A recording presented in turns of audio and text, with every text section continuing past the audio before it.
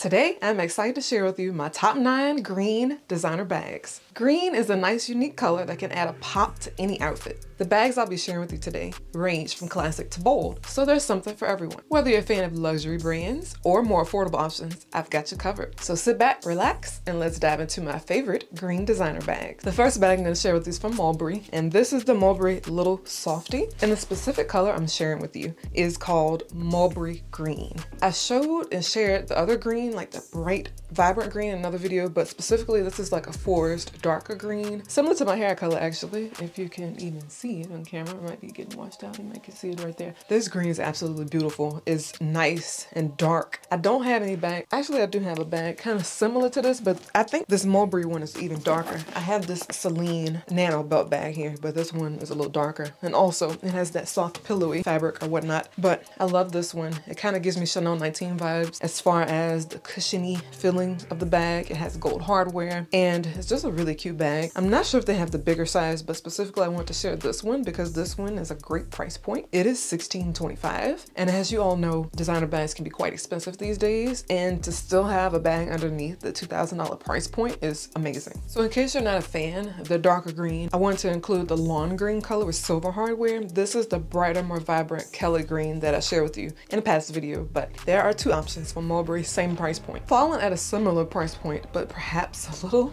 less reasonable as far as size, this is the Fendi Baguette phone pouch. It holds your phone, but it seems like it will hold something else too, like something slim. And this comes in multiple colors. It is 1550. Let me zoom into this so you can see it. It does have the logo at the front and the particular fabric is green patent. It has a nice top handle. It has a long strap. So if you want to wear a crossbody, there's an interior card slot. So you don't necessarily need a card holder unless you want to carry extra cards. I really like this one. I love the color of this one too. And again, it's a great price point. It does come in other colors, but we're specifically talking about green bags in this one. Also, I want to share with you this other option in case it's a little bit too expensive for this size. They have another baguette phone pouch that is $12.90, also in green. The only difference, this comes in satin, so it's a bit more high maintenance, just to let you know. Similar vibes, still has the interior card holder. This one is acid green, similar vibes. This one I think has gold hardware silver actually. There you go. The next option I'm going to share with you is also from Fendi and it's the Baguette Mini. It retails for $23.90. They have this green shade here. It's like a mint green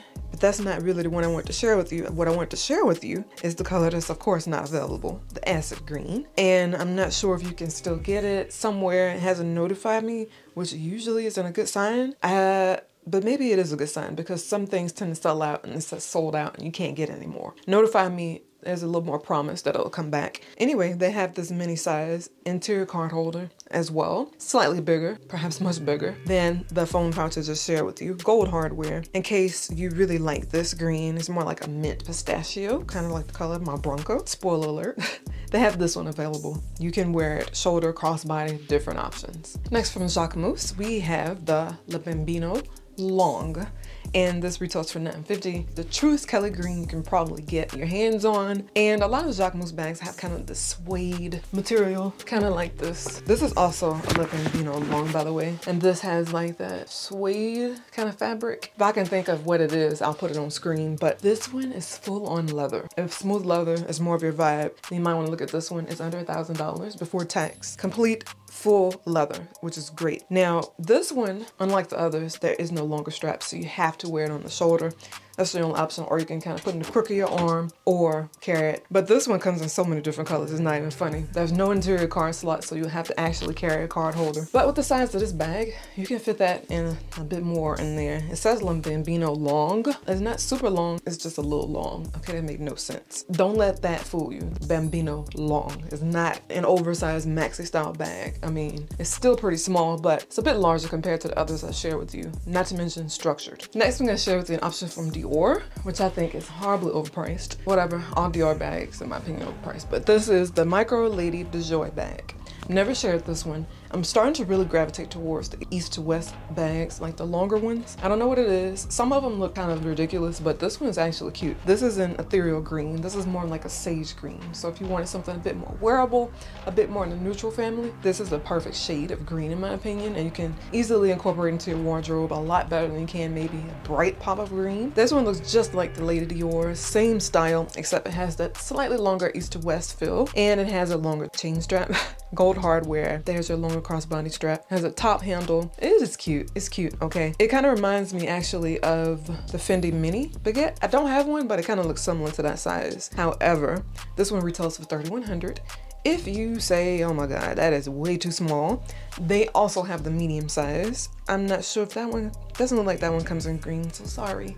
Can't get that one in that green color, but just want to give you that cute green neutral option because I know not everyone loves pops of color like I do, like an extreme pop of color. Next bag I want to share with you is from Gucci. I don't really like Gucci too much, but this one kind of spoke to me a little bit. It's green, yes, but this is the green GG Matelasse. I'm so sorry if I'm butchering that. I'm sure I sure am. The Matelasse mini bag in bright green leather. Now this is absolutely beautiful. It's full on leather, gold hardware, top handles, kind of like a not a bucket style. What's the other word I'm looking for? I can't think of the style you call this, and I should be. But anyway, so cute. It's the perfect size. I think it's a great price point, $25.90. I mean, compared to other brands, you know, that's full on leather. They have your tassels on the side. The thing I'm not a fan of though is the sticker strap. I don't know why brands are doing like the sticker utility strap. I don't like it. They have this chain as well, but I'm also not a fan of that. I really think they should have done a thinner